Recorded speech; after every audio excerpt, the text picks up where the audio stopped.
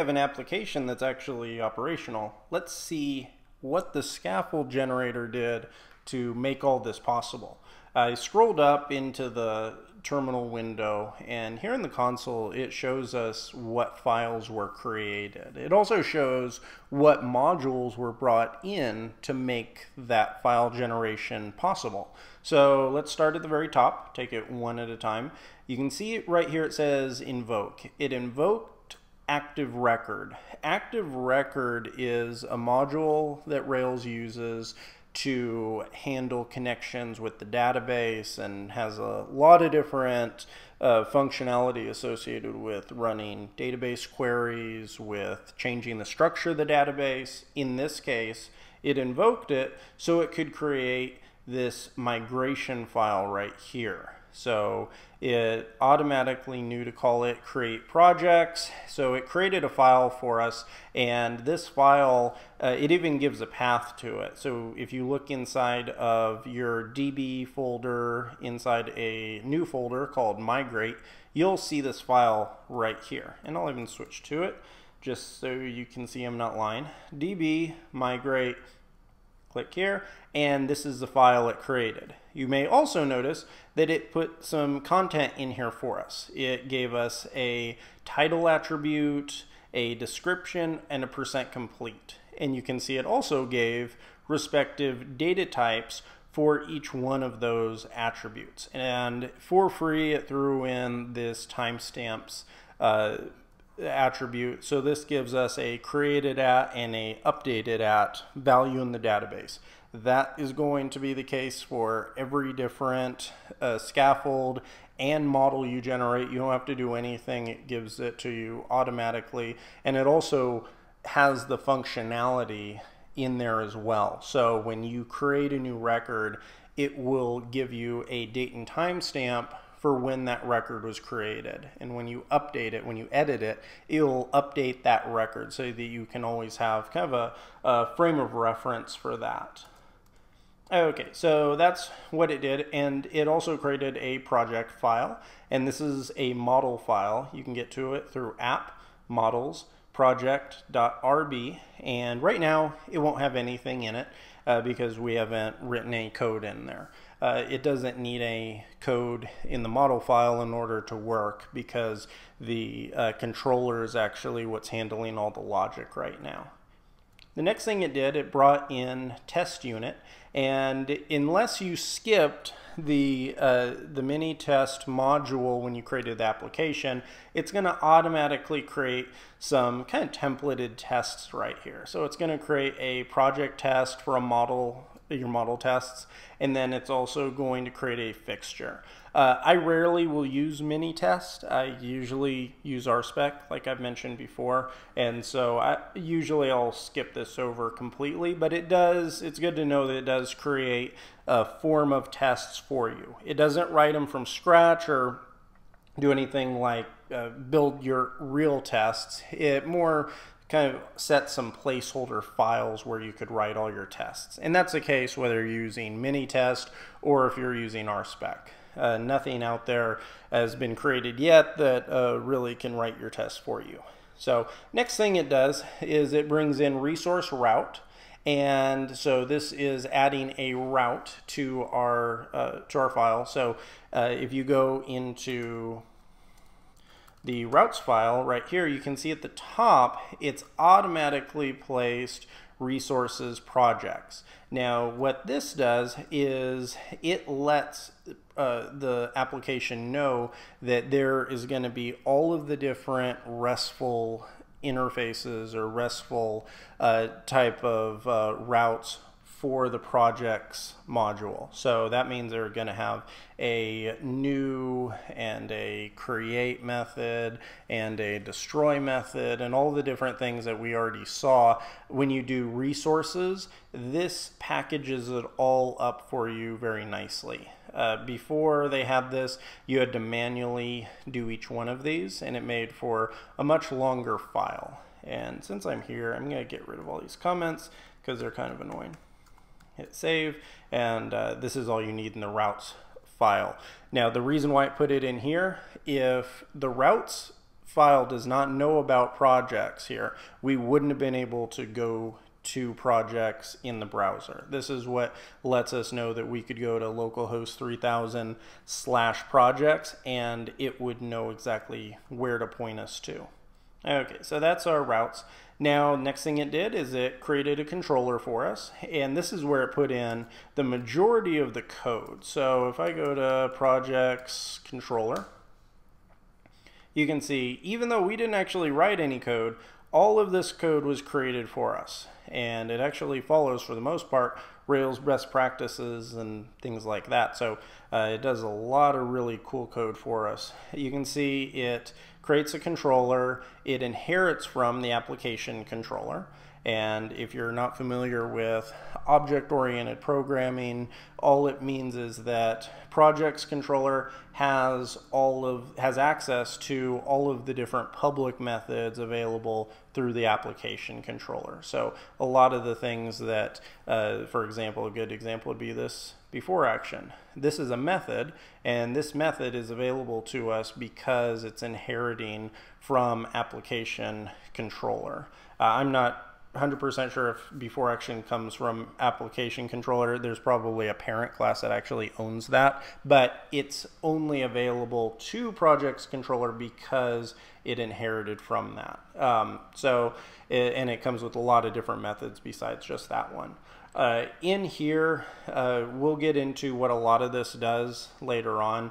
Uh, this before action means that it's calling this set project before every method. So before every one of these methods, and it says which ones it's for. So only show, edit, update, and destroy, it calls this method of set project.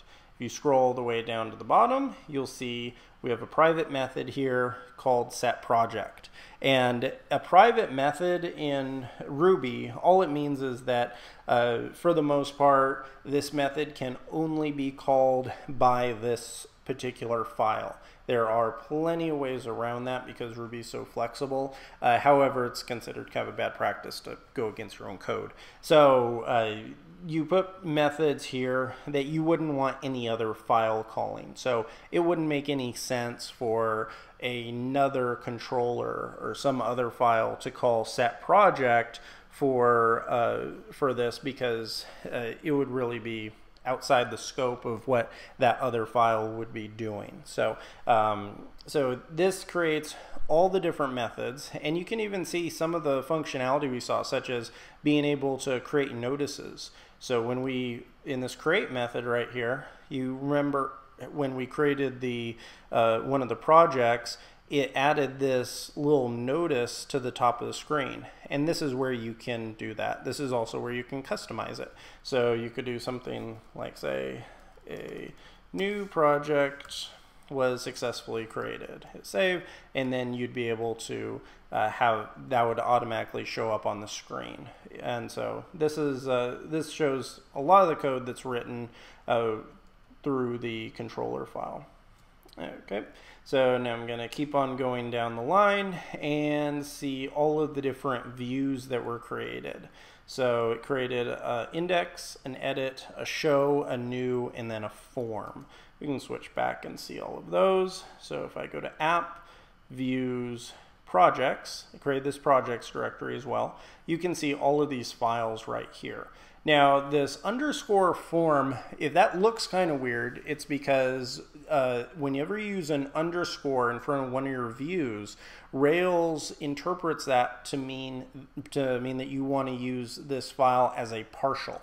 And what a partial is, is it's a file, it's a view file that can be called by other files. And you may wonder why you'd want to do that. And it's actually a really a cool thing that Rails does, and it's a, a common practice. We have an edit form, like you saw, and we also have a new form. But you notice if you go to these, you're not actually having any real form in there. All the form code is right here in this form partial. And the way this works is project or new and edit both want the same exact form. They may want to have some different validations or there may be a few things that are slightly different, but for the most part, the form's going to be identical. So there's no reason to create a edit form and a new form. Instead, just use a single form and then call it from those two files. And when you see this, uh, this line of code right here, this render form, this is going to call the partial right there. And using partials and uh, seeing code like this, where uh, we're not duplicating code, this follows a very, very important principle called the dry principle. And with the dry principle, it's don't or do not repeat yourself.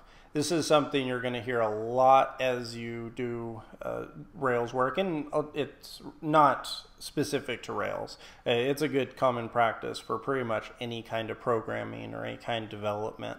A good example of why you wouldn't want to repeat yourself for something like this is, say, our project module started to grow.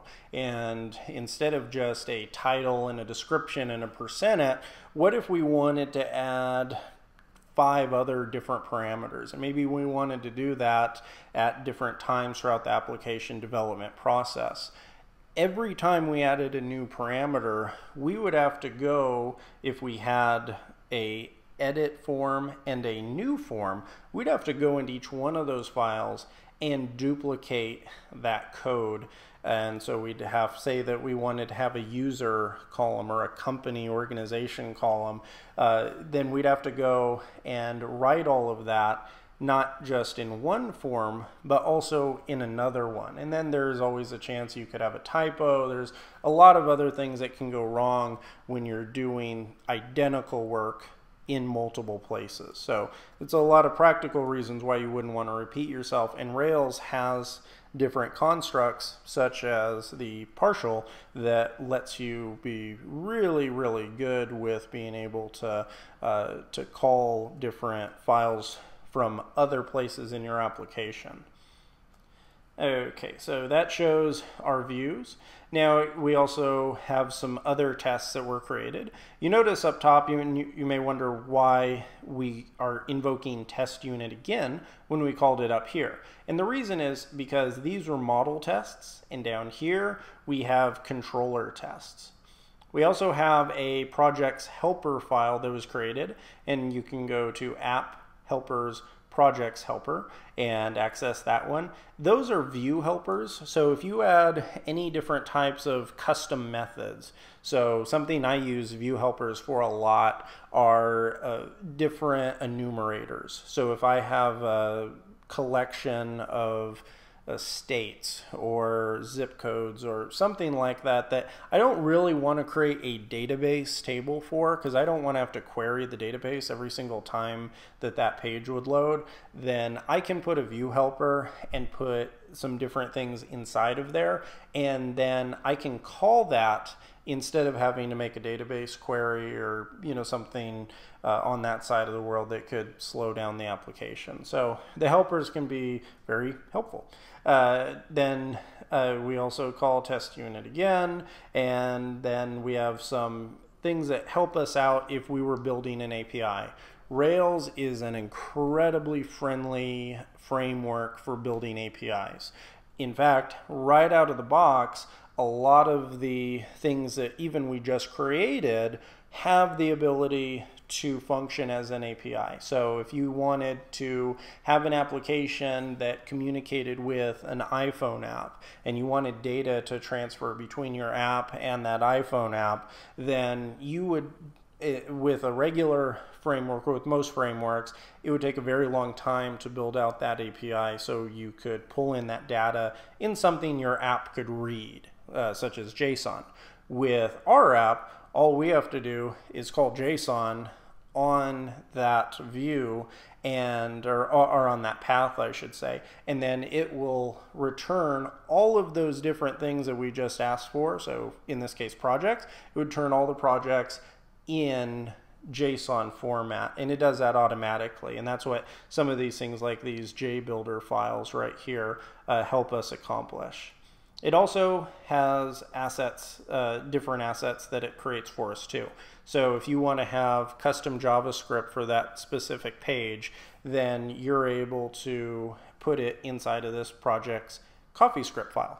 Now, if you are not familiar with CoffeeScript, don't worry. Uh, there's a ton of people, especially people who are uh, not familiar with Rails, uh, who really haven't got a lot of experience with CoffeeScript all it is is a, a different way, essentially like almost like a rewritten way of JavaScript. It's not really rewritten form of JavaScript. It compiles into JavaScript and it makes it a little bit easier to read and it also gives some ways of treating JavaScript more uh, as a object oriented language as opposed to kind of like the prototype driven language that it is and so it gives you a file right here where you can access it.